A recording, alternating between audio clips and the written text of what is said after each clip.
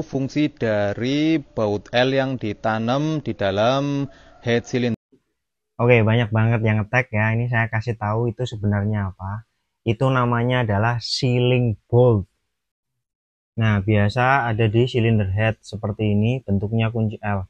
Ini biasanya hanya ada di motor yang menggunakan coolant atau uh, radiator. Fungsinya itu ketika di pabrikan dia kan nggak mungkin ngetes satu-satu ya uh, dipasang di silinder blok terus dites uh, bocor atau enggak bocor atau enggak. Nah dia metodenya adalah menggunakan drat seperti ini alatnya nanti dimasukkan dikunci seperti itu. Nah kemudian itu biasanya kalau sudah oh ini lulus sekrut eh lulus sekrut lulus quality control nanti ini kemudian diganti. Ini enggak hanya terjadi di sini di N di CBR ada ya ini di sini.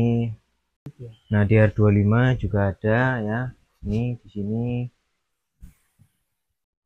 Nah tahukah kamu sealing bolt ini enggak cuman uh, untuk ngecek si coolant bocor atau enggak tapi ada juga sealing bolt yang gunanya untuk ngecek oli Nah, di R25 di sebelah kanan itu ini seperti ini ya. Ini sealing bolt juga.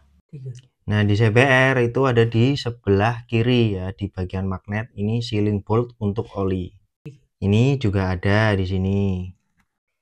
Nah, jadi itu namanya adalah sealing bolt. Biasanya dia pakai kepala L atau biasa disebut dengan hex ya. Oke, seperti itu. Semoga bermanfaat. Stay young, red fast.